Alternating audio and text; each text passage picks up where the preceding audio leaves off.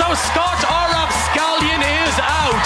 We'll be talking hairdos and hair don'ts, fake tan and fake accents after the break. He's touching hands, I love it.